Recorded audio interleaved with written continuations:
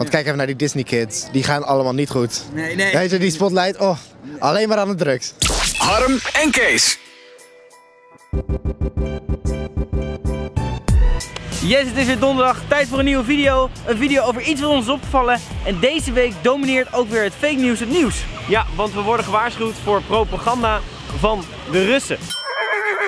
Maar trappen mensen er nou echt zo snel in? Nou, dat gaan wij testen door als nieuwsboek de straat op te gaan met de meest bizarre nieuwtjes die we kunnen bedenken. Wij zijn vandaag het ZOS Nieuws. Welkom bij de allereerste editie van Fake Nieuws. En dat gaan we hier testen in Leiden, want de universiteit staat al jaren in de beste universiteitslijstjes ter wereld. Nou, dus dan moet je wel slim zijn. Oké, let's go. Zojuist is nieuws naar buiten gekomen dat eh, Rutte een kind schijnt te hebben. En niet al even, al vier jaar. Wat vind je daarvan? Een kind. Nou, ehm, ik zou wel denken dat het zou eh, opvallen. Oh, volgens mij heb ik, dat, heb ik iets van gelezen. Ik snap dat je je kind niet in de publiciteit wilt. Ja, hij is wel een beetje een player, toch? Ja, dat klinkt eh, ja, niet een beetje als een schandaal zelfs. Maar voor dat kind vind ik het wel goed, want anders wordt hij de hele tijd lastiggevallen. Beter voor zijn eigen ontwikkeling. Want kijk even naar die Disney kids. Die gaan allemaal niet goed. Nee, nee. Weet je, die spotlight, oh, alleen maar aan de drugs. Waarom zou je dat verzwijgen? Ja, eh, je mag toch best trots zijn op hem als je een kind hebt, denk ik, toch? Ja. Ze heet Vlinder. Leuk. Oh, alle, alle kindernamen die je op het moment tegenkomt. Alles kan op het moment. Het is Vlinder geworden. Oh god, dat vind ik echt zo'n beroemdheidnaam. Trappen jullie vaak in fake nieuws? Vast wel. En jij?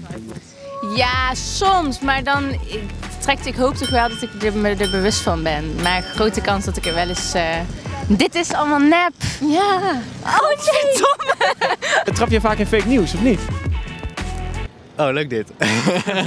Omdat je leuk meedoet, hebben we tenminste nog een zonnebril voor. je. Yes, dankjewel. En wij zijn eigenlijk van eh, Slam, het radiostation. Ah, oké, cool. Weet je nou dat het? Waarom heet dit SOS? Dat dacht ik wel. Die ga ik in de zomer flink gebruiken. Kan u ook hoor. Nu ook. Hartstikke idee! De AIVD die heeft nu als plan liggen dat ze over een, eh, eh, een paar jaar willen ze iedereen chippen. Zodat als je iets gedaan hebt, dat ze je eigenlijk heel makkelijk kunnen volgen. Wat vind je ervan? Nou, ik snap natuurlijk wel waarom ze eh, dit doen. Want het, ja, het maakt natuurlijk hun het leven een stuk makkelijker. Ik heb op zich wel vertrouwen dat het dan wel goed gebruikt wordt. Het is natuurlijk wel een inbraak op je privacy. Ja, maar jij hebt je natuurlijk nergens zorgen over te maken. Dat weet je niet. Er zijn vast wel genoeg mensen die eraan mee eh, zouden willen werken. Ik zou het zelf ook wel doen. Als dit er komt, zou je een beetje er tegen gaan protesteren? Als er een groot platform voor is, dan eh, zou ik dat wel doen. Maar ik zou niet in mijn eentje op het Malieveld gaan staan. De slogan, die wil ze een beetje jong en hip houden. Dus zeggen, doe hip, doe mee met die chip. Wat vinden jullie daarvan? Heel raar, ja, heel raar. Maar wel grappig. Ik bedoel, ja, ik vind het wel leuk dat ze het ook niet helemaal serieus nemen dan. Dus op, op zich vind ik het wel wat hebben. Dan kom jij met het spandoek aan mijn lijf, geen harde schijf. nou, bijvoorbeeld. Denk jij dat eh, nou, in deze tijd mensen snel in fake nieuws geloven? Ja, ik denk het wel. Vooral omdat ze ook niet heel vaak weten dat het fake news is. Ja. En ik voel me al een beetje aankomen nu. Ja, ik dacht al, dit kan niet kloppen. Wat goed. wat stom. Eigenlijk geloofde ik er meteen geen ene reet van. Ik zag zo'n rode auto en dacht ik, oh, dit is iets van het nieuws. Dus omdat jullie het niet geloven, heb ik hebben we een leuk cadeautje voor jullie. Ja, wel donker, ja. Zo. Geen last mijn ogen. Hier word je wel relaxed van hoor. Denk na.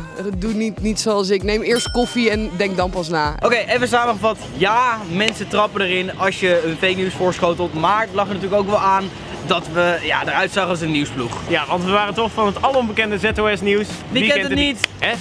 Vind je deze video nou leuk? Geef even een duimpje omhoog en subscribe op dit kanaal voor nog veel meer hele leuke Slam video's.